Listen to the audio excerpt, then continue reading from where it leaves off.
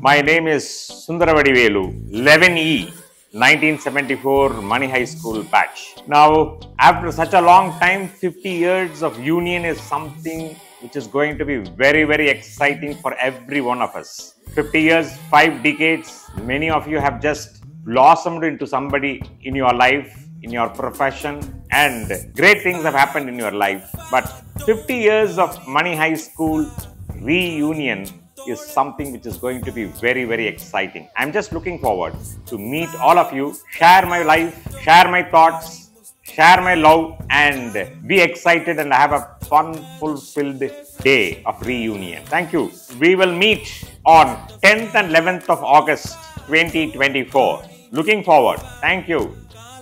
Greetings to all from Golden Jubilee Reunion Batch of 1974 of Mani High School. See you all in the reunion.